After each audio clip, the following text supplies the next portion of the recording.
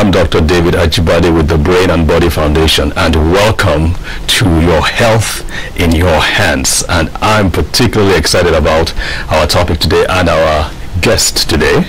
If you remember, a lot of the things we talk about, the whole idea behind uh, these presentations, these talks, is we want to educate you, the average Nigerian, on the things that pertain to your health, how to take control of it, how to take charge of it. And there are four main areas we look at. One is how your body works. Two is how to keep your body working properly even onto your old age. And three is how to avoid toxins.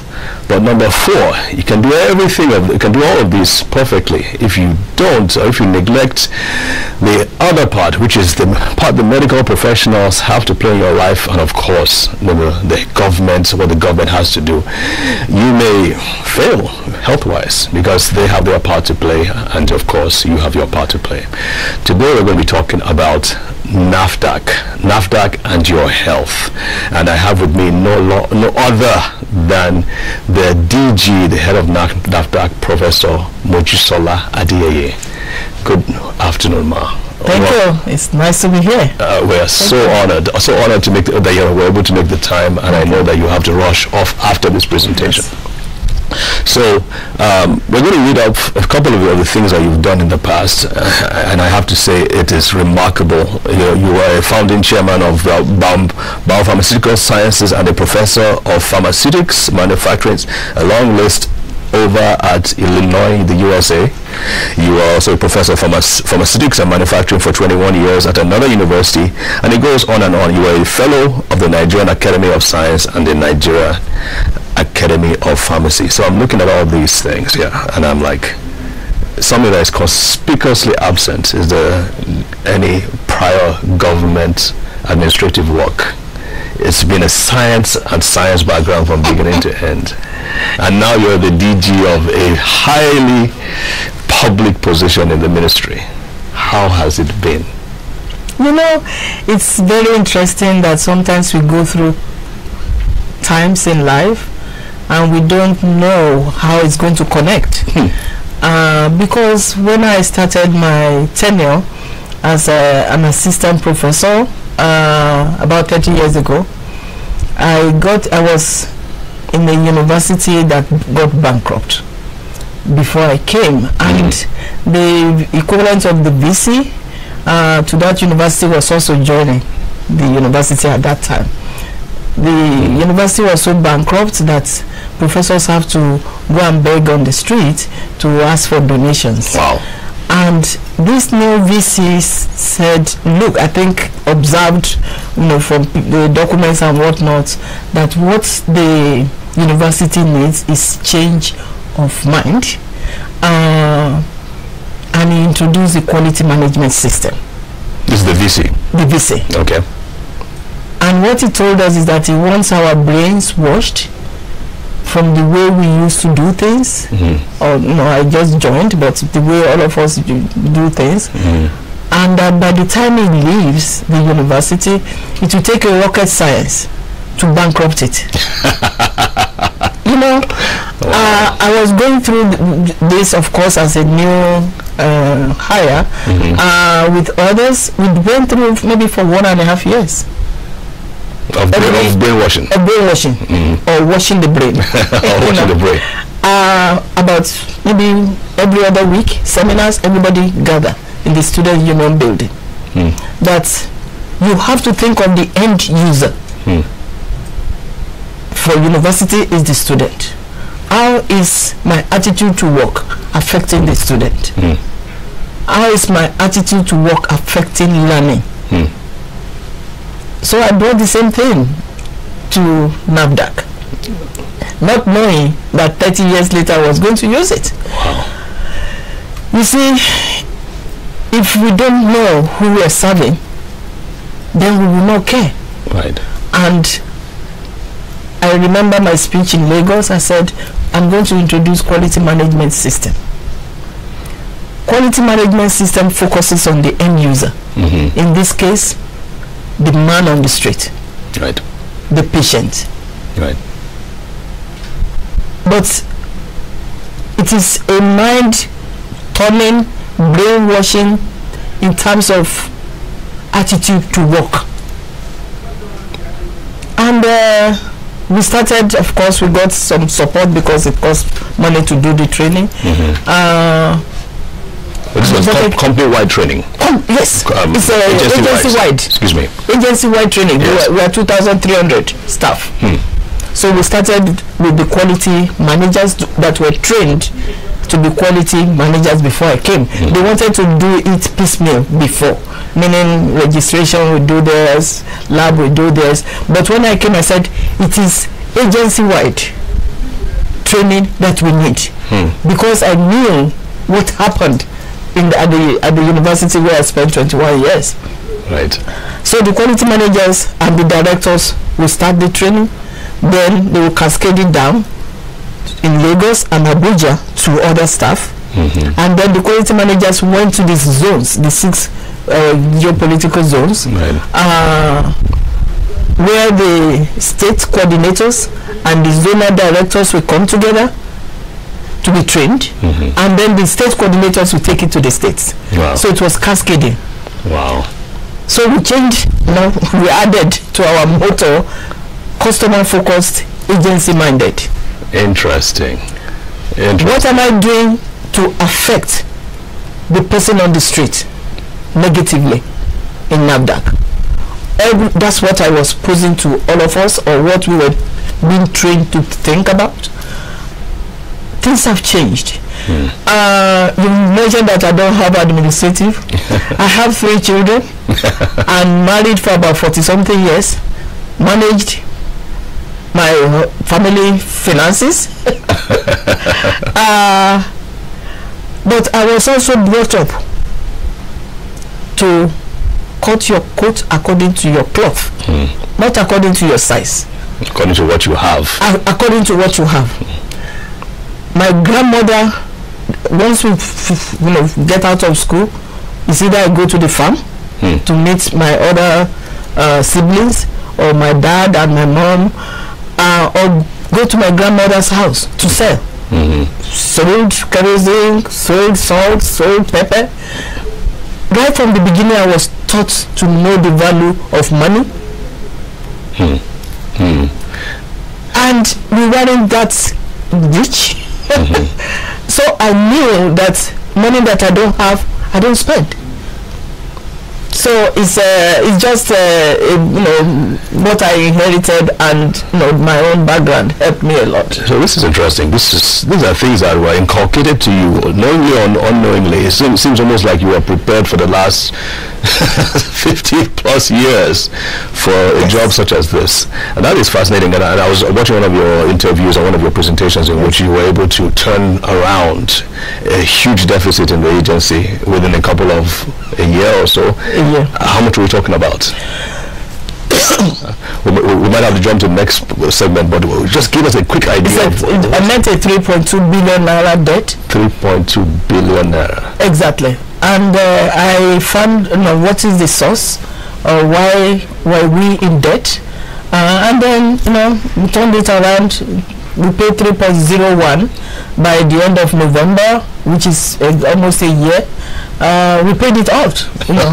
That, that is amazing. Anyway, I hope we can, we can talk a little bit more about that, but we have to take a short break now, and then don't go away, folks. We will be right back.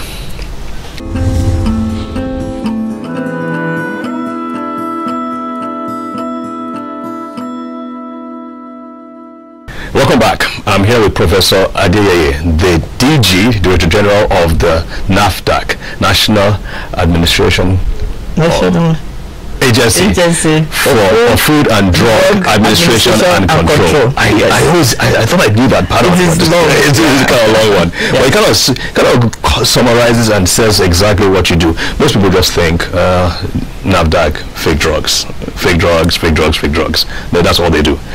Can you just give us like a synopsis? I, I, and I know your scope is expanded, it's expansive, both here and outside the country. Just help, help, us have an idea for the average citizen, the average man on the streets. Let them know what exactly NAFDAC is. Because, and the reason I'm saying this is people on the streets need to know where to run to and what who to talk to if there are issues that they feel needs to be brought up. NAFDAC uh, its mandate is to control uh, the manufacturing, the distribution, uh, the sale, the use of drugs, uh, food, beverages, chemicals, detergents, medical devices. We have seven Wow. regulated products. Detergents too? Yes. Okay. Uh, in order to safeguard the health of our country, of our people. And so we are very, we are kind of multi-hydra headed type of organization. Uh, of course, our main uh, regulated products are drugs and food. We want to be sure that the food that we eat are wholesome. So that is part of what we control on a daily basis. For example, take bread. If there's bromate in bread, it can cause damage. It can cause liver damage. That, So- that's a chemical. That's That's, a chemical. do they, do they typically put it in bread though? it used to be in bread, but they uh, banned it. Good. But there's few, there's still few people that use bromate in bread. And that can cause liver damage, Yes, it can cause a lot of health problems.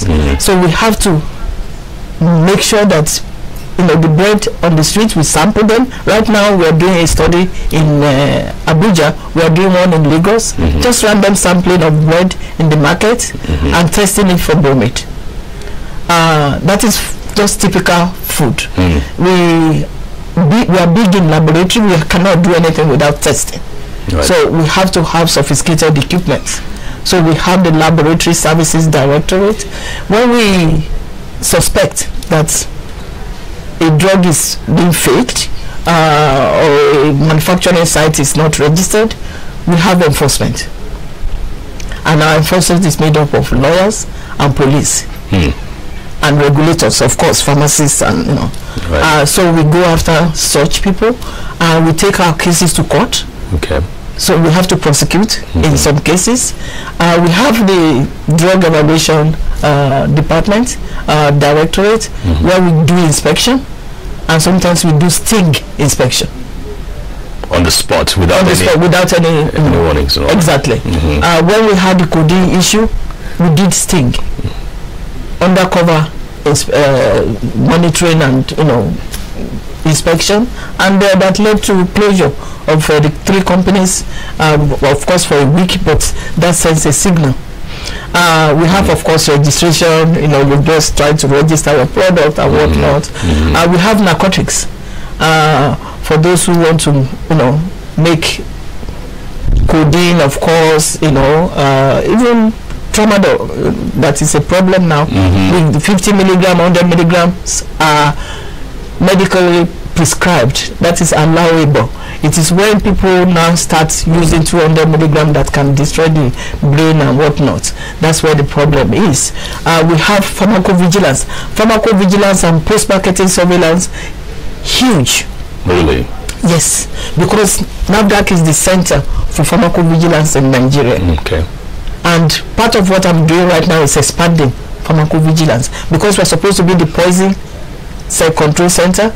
So if somebody swallows something, they, they can call and say, "Oh, I swallowed this," and then you know the pharmacist will say, "Use this so that you know antidote or whatever." Uh, we, we need to get that number. Maybe we'll, we'll have them posted on the on the screen. Yes, uh, I will ask uh, one of my because I don't have it in my head. I understand. But it's on our website. Okay. It's on our website. Okay. Uh, we have adverse events. Okay. Uh, it's, it's all, it houses the have the adverse events uh, center. Uh, in fact, NAFDAC is in the center, and the six teaching hospitals okay. feed into that. Okay. I'm going to make that better Okay. because we need to make sure that any adverse events that is occurring in any health institution can be It's reported. reported. Very Exactly. important. So you can monitor. Yeah. Exactly. Post-marketing surveillance. You bring medicine into the country, mm-hmm. we have to follow it up mm-hmm. to make sure that what you use in your formulation when you register is what you are using two, three years after. And people change formulation Of on course. us. Of course. So we have to do post-marketing surveillance for both drugs and food. Is it on the spots that you you take your lab to those areas, or you have have them send them to you, send you the sample? Most of the times we have to take the samples Ah, okay. back to the lab. Okay. But we have also detection for drugs especially. We have on the spot checking Okay. and that we are going to even scale up now because you know we have to use now new softwares and technologies you know to make That's, that seems like a, a lot of work that you're putting into this thing. And we have to we have to because the health of our people depends on it and that that seems like a lot of things were just letting, well, was, was just sliding.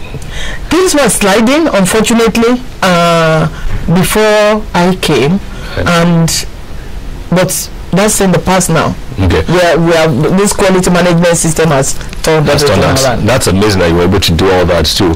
And, and one of the things that we want to talk about, especially in the next segment, is the challenges that you, you, you faced in really putting this quality control in, in, in position. Because, I, I, I mean, with I, I, Nigerian mindsets, we don't like change. Nobody likes change. But I think Nigerians especially do, not, like change. Let's, uh, let's talk about that a little bit more in the next, in the next segment. Okay. All right, folks, we will be right back. Do not change the channel. See you soon.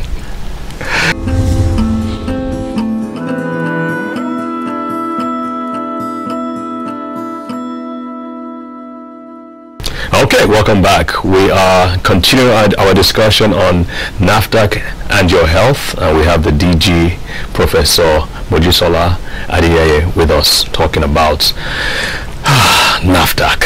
What a big term. What a big. Uh, uh, we, we, we just don't have enough time, but we are going to go into. Hopefully, we're going to have you come back over and over and over again. thank you Um, okay. You're here putting quality control in place. You're here training the, the, the people, ensuring that everybody does what is right. That can't be easy within our environment. No, it's not at all. Uh, it's not, and it, or it wasn't. I have fantastic uh, staff, Mm. uh, directors. You know, the world has changed tremendously uh, because of uh, technology, software technology, internet, things like that.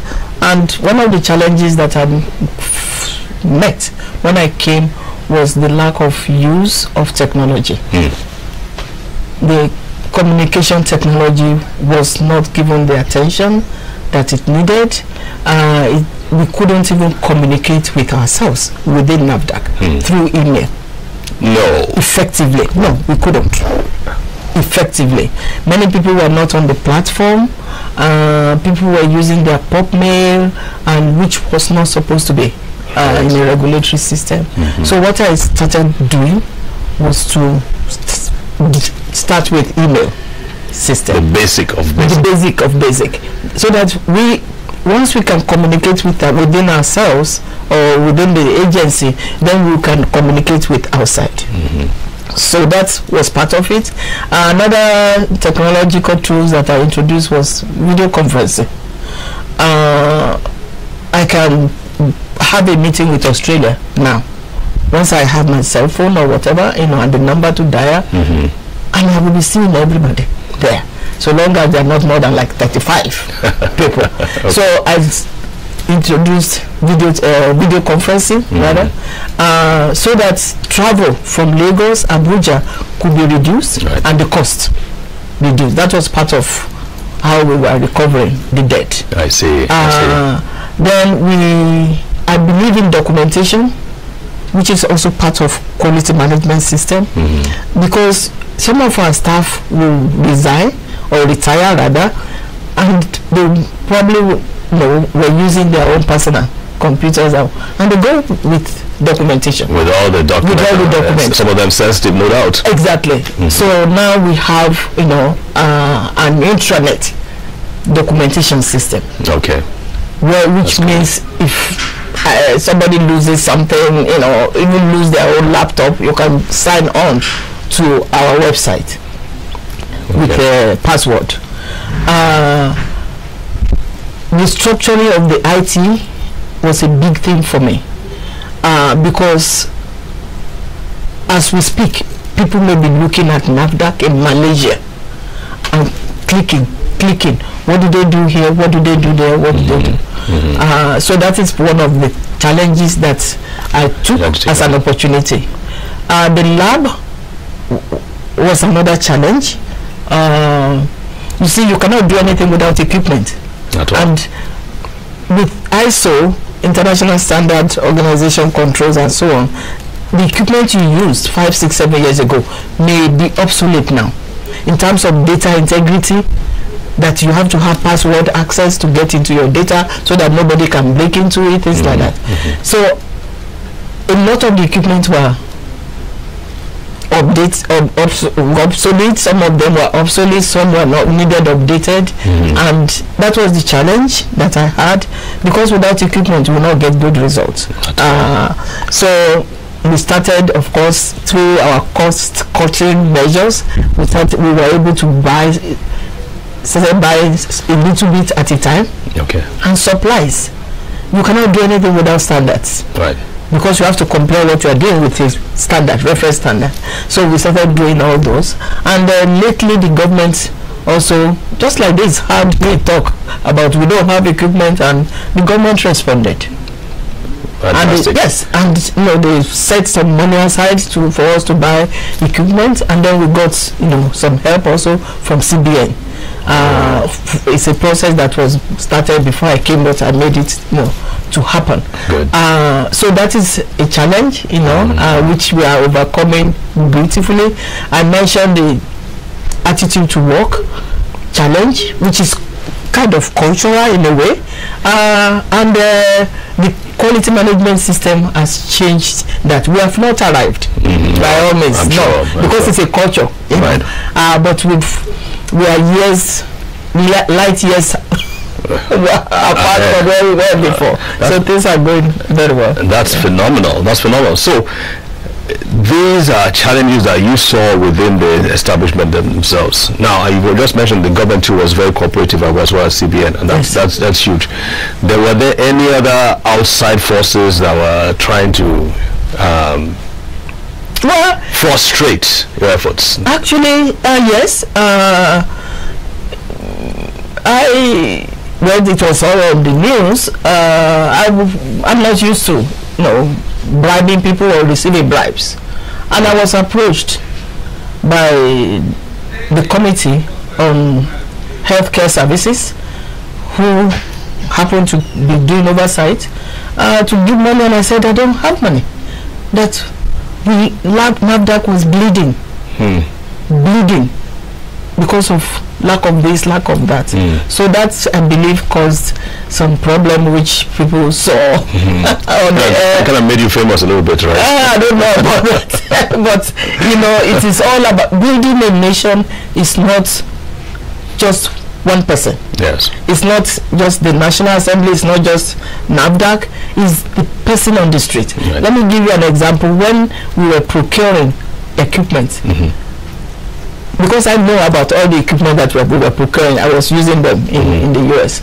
And I told the, one of the equipment manufacturers, I said, do not give us too much, uh, too high a cost. Mm-hmm. We're supposed to be building this nation together. Make 25% profit, don't make 70%. 70%, yes. Please, we're building this nation together. So it is. So Uh, you have the goodwill of the manufacturers abroad because you have been, already been working in that environment, that's right. which is fantastic. So I mean, uh, so th- there's a, there's a there's a place for the experience abroad and the connections to bring that back here, and I think a lot of other, uh, shall we say, returnees and, and, And diasporas. and diasporas are, are trying to do that. Uh, I'm hoping that maybe in the next segment too, in the next sessions, we'll be talking about how to even bring more of those people who want who want to do something in Nigeria, but for some reason are being frustrated from doing it. So we'll talk about that. But at this point, Ma, I'm sorry we have to take a break here you. for until next week. Yes. but we will you so continue to discuss about this. Thank Thank, you so so much. it's so nice to be here. Thank you for inviting me. We really appreciate it. Thank you. See you folks next week. Cheers.